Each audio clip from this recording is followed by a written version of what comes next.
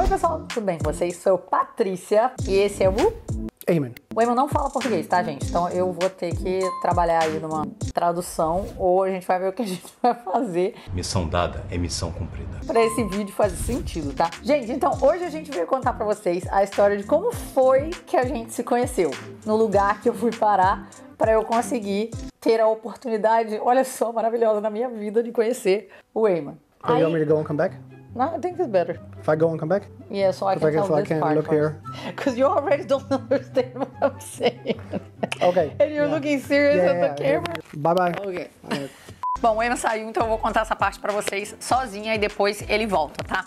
Só pra ele não ficar com essa cara de que não tá nem entendendo o que, que tá acontecendo. Eu não suporto mais o que estão fazendo comigo. Então eu vou contar pra vocês como foi que eu fui parar no lugar que eu acabei conhecendo o Eamon, tá? Foi o seguinte, eu logo que vim para os Estados Unidos, eu vim para, eu vim e trabalhei numa cidade chamada Bedford e eu trabalhei numa loja que era uma loja que vende café e hum, é, donuts, bolinhos, essas coisas. E o nome é Dunkin' Donuts, tá? Logo que eu cheguei aqui e que eu estava trabalhando nesse Dunkin' Donuts, o gerente do Dunkin' Donuts falou pra mim: Olha, Patrícia, tem um Dunkin' Donuts pra ser aberto novo dentro da base da Força Aérea Americana. E eles estão com a loja antiga ainda, mas tá pra abrir um, uma, uma área nova lá que ia ter Burger King, que ia ter várias.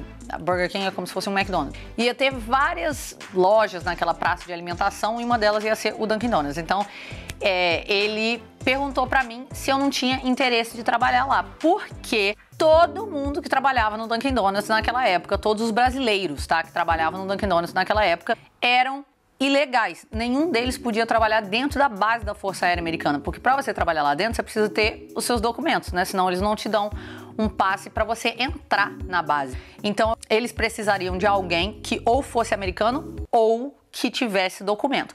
Como eu era naquela época a única brasileira de todos os brasileiros que trabalhavam no Dunkin' Donuts, que era 90%, eu era a única brasileira que tinha documento, ele me ofereceu de trabalhar na, na loja lá dentro da base, tá? Aí, por que que ele não pediu para um americano e tal para trabalhar lá na base? Porque eu era uma pessoa responsável, né? Assim, porque a maioria dos americanos que procuram esse tipo de trabalho, eles são adolescentes ou estão só fazendo uma temporada ali de, de trabalho. Eles não estão com interesse de realmente ficar no trabalho por bastante tempo, sabe? E eu era uma das pessoas, como todos os outros brasileiros também, a gente levava a sério o trabalho. Só que para americano não, o americano não levava a sério. Então eles sabiam que para poder ter alguém reliable, alguém que eles realmente fossem poder contar com aquela pessoa, tinha que ser brasileiro. E eu, como eu falei, era a única com documento, enfim. Eu sei que eu pensei, quando ele falou pra mim assim, você não quer trabalhar lá na base da Força Aérea Americana? A primeira coisa que veio na minha cabeça, gente, foi o filme do Top Gun. E a musiquinha. Veio na minha cabeça que eu pensei comigo, gente, oportunidade da minha vida. Vou encontrar o meu Tom Cruise lá dentro da base. Eu nem sabendo que o Tom Cruise era da Navy. Ele não era da Força Aérea, ele era da Marinha dos Estados Unidos. Mas por eu ver ele naqueles caças, aqueles aviões, eu achava que ele fosse da Força Aérea, né? Eu imaginando, avião, Força Aérea, Tom Cruise já imaginava que era Força Aérea, mas não era. Ele era da Navy, né? Até porque ele posava, era num, nos navios, né? Naquele filme. Mas eu nem estava ligando uma coisa com a outra, eu mais preocupada, era com o Tom Cruise da minha vida. Aí eu pensei, pô, oportunidade única, cara. Vou total trabalhar lá na base. Aí, muito bem, eu cheguei, eu tava trabalhando, eu tinha acabado de começar a trabalhar na, na primeira semana ali. Eu acho que eu diria nos primeiros três dias que eu tava trabalhando. Eu não conhecia ninguém, eu mal sabia direito chegar na área que eu tinha que trabalhar, na loja. Eu não sabia nada, nada da loja. Aí, e nem conhecia ninguém. Aí, muito tô eu um belo dia lá, trabalhando. Até que eu vejo uma pessoa de olhos azuis, de uniforme, lá no fundo da fila. E eu tô vendo ele vindo na minha direção, e vindo na minha direção. E o olho dele tá quase que passando pelos meus olhos e atravessando, indo lá pras donuts que ele tava atrás. Aí eu não tava sabendo se ele tava interessado, era do que ele estava vendo na frente dele, ou se ele tava querendo que eu saísse da frente, porque ele tava mais preocupado com as donuts que estavam atrás de mim. Ai, Ai, gente. Eu sei que eu vi ele vindo na, na fila. Quando ele finalmente chegou no caixa, na, na parte ali de pedir, de fazer o pedido dele, ele fez o pedido dele, que até hoje eu nunca na minha vida vou esquecer. Que foi um medium hazelnut coffee com milk e two sugars. O maluco é brabo. que é um coffee, um café médio, um copo de café médio, sabor hazelnut, que é de avelã, com leite e duas colherinhas de açúcar. Esse foi o pedido dele e uma jelly donut, que ele jura até hoje pé junto que essa donut não era pra ele. Muito bem. Aí, quando ele pediu isso, eu fui, tava pegando e tal e fazendo café, foi a hora que ele começou a conversar comigo. Aí, e a fila é enorme. Aí ele perguntou pra mim, ele falou: "Como que fala o seu nome? É Patricia?" Aí eu falei assim: "Não, na realidade é Patrícia." Aí ele, hum. Loucura. Aí eu falei pra ele, e o seu nome? Porque eu li no uniforme dele, né? E o seu nome, como é que fala? É Odi? Aí ele, não, é O'Day. Aí eu lembrei do nome O'Day e ele lembrou do nome Patrícia, né? Aí, muito bem, eu sei que o dia foi passando, ele foi embora. O dia foi passando, algumas horas depois, quando eu tava mais tranquilo, já não tinha mais ninguém na loja, a Carrie, que era a menina que trabalhava comigo, a americana, o telefone tocou na cozinha e ela falou: Patrícia, a ligação é pra você. Eu falei: pra mim? Eu não sei nem o número dessa loja, nunca passei o número desse, desse estabelecimento pra ninguém, nem eu mesmo sei o número. Como assim? É pra mim? Tô entendendo. Aí, muito bem, quando eu cheguei no telefone, que eu peguei o telefone, ele, com a voz toda sexy: Oi, tudo bem? Aí eu na hora eu ainda tive aquele, aquele pressentimento. Eu falei, será que é, é, é ele, o cara que tava aqui? O O'Day? Ele falou assim, oi, sou eu, o, o Eamon, né? O O'Day. Aí eu falei assim, como é que você conseguiu o número daqui? Aí a resposta dele, eu consigo o número de qualquer lugar que eu quiser. Aí eu pensei, nossa, deve ser importante, né? Só que depois ele falou pra mim que o máximo que ele tinha que fazer pra conseguir o número da minha da, da loja que eu trabalhava era ligar pra operador e falar: vem cá, você pode me transferir pro Dunkin' Donuts? E foi isso que aconteceu. Mas eu não sabia disso, né? Eu achava. Depois ele vai contar a versão deles pra, dele pra vocês. Mas aí foi isso que aconteceu. E aí, naquele dia, aliás, naquele dia não, a gente conversou um pouquinho rapidinho no telefone.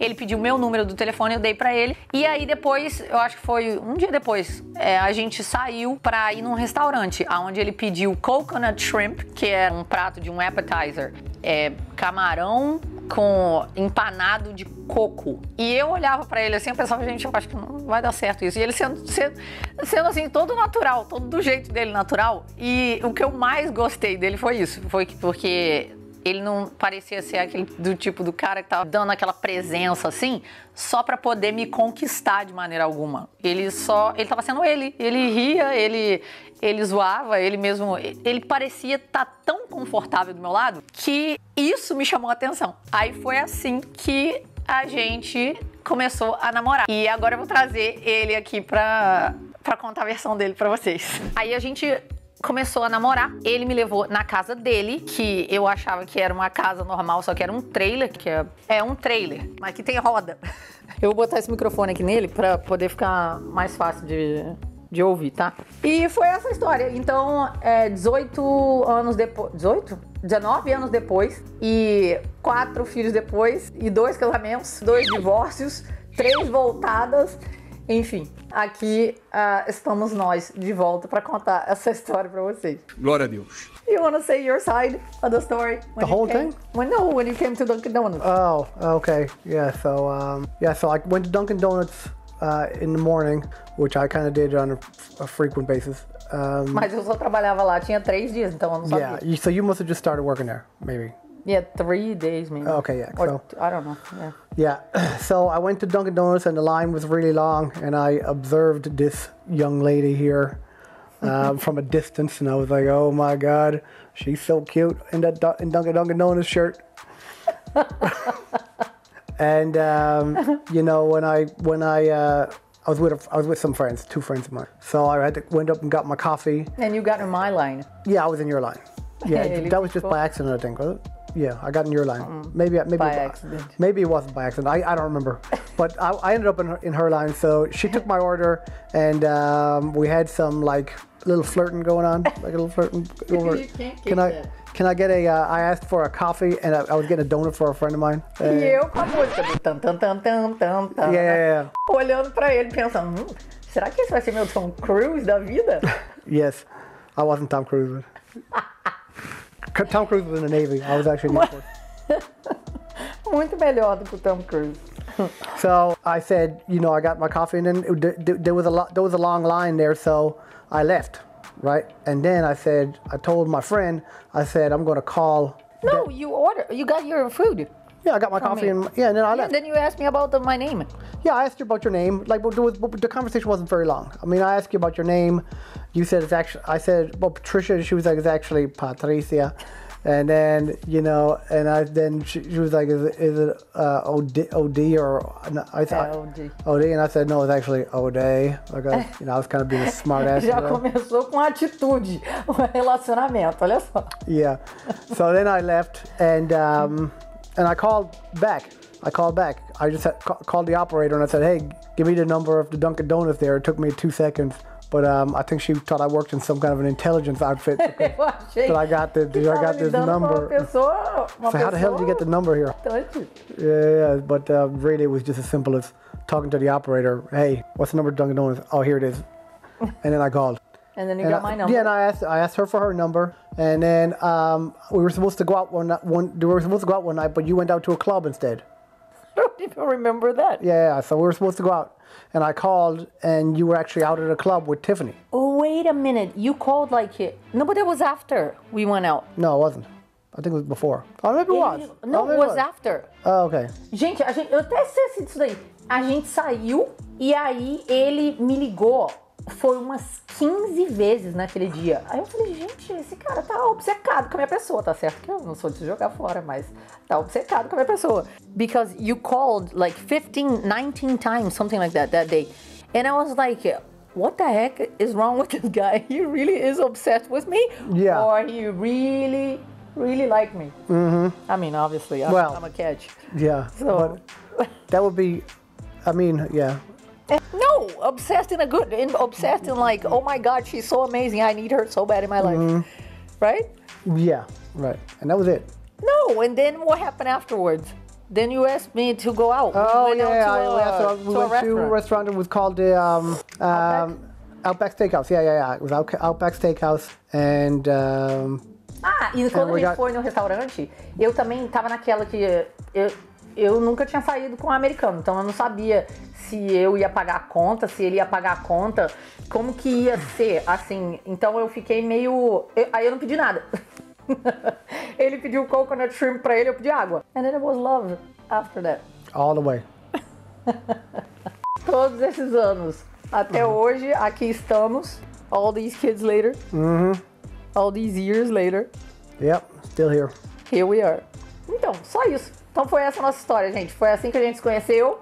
E aqui estamos nós, hoje contando essa história pra vocês, depois de 19 anos que a, a gente se conheceu em 2002, início de 2002. Foi, it was March 2002, quase 19 anos depois. Uh, it was kind of cold, so É, foi logo que eu cheguei. Foi logo depois do ataque das torres. O, o ano tinha acabado de virar, foi em setembro que aconteceu o ataque das torres. E aí o ano virou. E aí eu já comecei a trabalhar. E tava frio pra caramba naquela época. E então a gente lembra também por causa disso, por causa do frio. Foi essa a história, gente. You have anything else to say? no, I don't think so. Então foi essa a história, gente. Espero que vocês tenham gostado do vídeo. Não deixe de clicar no gostei e se inscrever no canal se você ainda não é inscrito, ok?